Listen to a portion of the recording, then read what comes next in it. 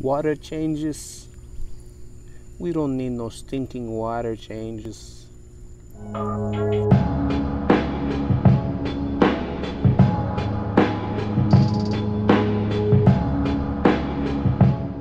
What's up everyone? Frank here and I got your pond update video this week and this will be a good one. Uh, I got some great results with the water quality. We got a lot of rain here so it's been uh, pretty easy going and pretty maintenance free to be honest. So it's only been three weeks total since my last tubbing video, but it's actually been five weeks total in reality because I didn't actually release that video until later on. Now, I figured I'd give you guys an update like I said I would about a month after, so let's check out what we got going on. You can see here, we actually got some pretty good fry growth going on here. Um, a lot of little different colorations that I could see. So this is just an assorted guppy tank, or mini pond I should say. But uh, yeah, I mean, so far it's been really good. I've lost maybe like uh, two fish total since uh, setting it up that I'm aware of. So yeah, it's always really good. Um, I did get some red root floaters to go in the pond, but uh, it didn't work out. The majority of them ended up going down to the bottom. Uh, I think the circulation here is just too much. So I moved the rest of them somewhere else to where they, I think they can survive, hopefully. Um, and I did get those red root floaters from Paul's Planted Aquariums on YouTube. So shout out to him real quick. Uh, he sold them for only a buck plus shipping, so can't beat that. I mean, he said not only that, he also threw in some uh, some pennywort, which has been awesome. The pennywort's growing great in the other tank. So if you guys haven't, go ahead and check out Paul's Planted Aquarium. Sometimes we'll throw out some deals out there for you, so you can take advantage of that.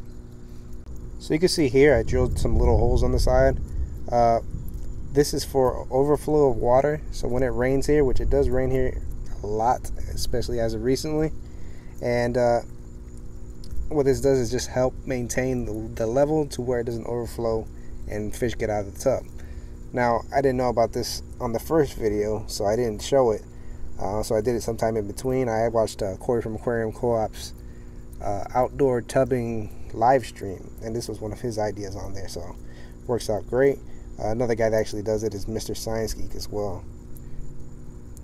So I want to share a comment from my last video. It's from Kyle's Wild World. So Kyle's Wild World, check out that channel. It's an awesome channel.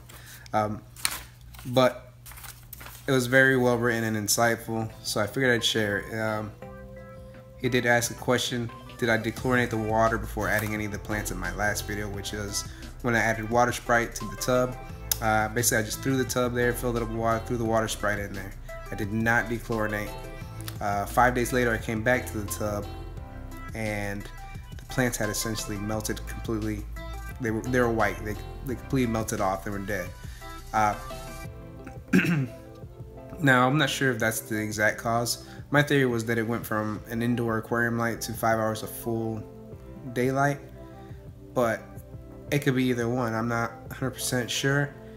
Uh, I did want to do a test though, and actually, I have some more water sprite that's already growing outside and in rainwater, so I could actually put that out there, throw some uh, chlorinated water in there, and test it. I didn't get to it unfortunately because it's been constantly raining here.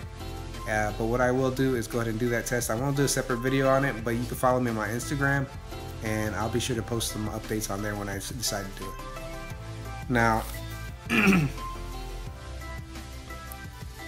Uh, he tells me that that might have caused them to melt back like that. Either way, the tub looks great. Uh, getting some more plants and ferts in there will help tremendously from what I have seen and been researching. Ponds won't build up nitrates as fast as aquariums. Not entirely sure why. It may have to do with all the phytoplankton and microalgae in the water outdoors. Let me stop for a minute right there because this is the most exciting part to keeping the fish outside. I did my water test and I had literally untraceable nitrates, which made me think, okay, there must be something else wrong. Maybe the nit- uh, ammonia's off. So I tested the ammonia. I don't have the uh, photo of that for you, but and the reason I don't have that is because I unfortunately broke one of my damn one of my uh, vials. But uh, what are you gonna do?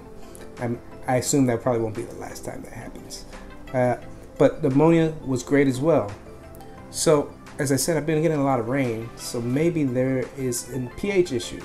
And someone even asked on the last video, uh, what about pH? How, how much is pH affected? I did the pH test, and surprisingly enough, that was almost exactly what it is originally. So I have an average pH of 8.0 here.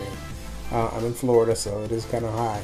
But you could see from the results, pretty much the same thing. So I've been very happy. I haven't done any water changes. I tested it twice, once in two weeks and one just before I did this video. So there you have it. The results speak for themselves. Now I got some guppy footage at the end here, so you can see the guppies from the side, because I know seeing them from the top doesn't really uh, do them justice. Uh, but I wanted to remind you guys real quick that I got the betta show coming up, and it's going to be an awesome time. Uh, you're going to see some beautiful fish. So make sure you subscribe so you're aware that when that video comes out. And uh, go ahead and uh, give this video a like if you enjoyed it, uh, a dislike if you didn't, and leave me a comment if you want. Um, so here's that footage.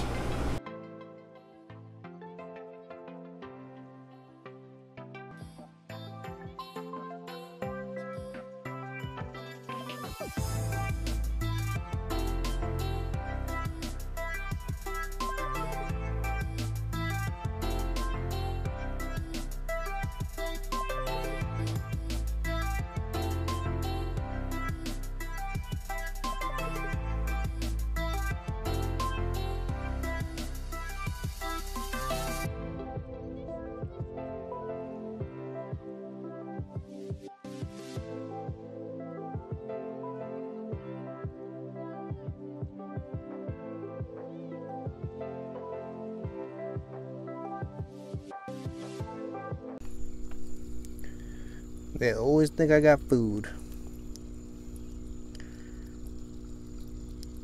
Oh. If you guys ever seen Ace Ventura, that's what I feel like.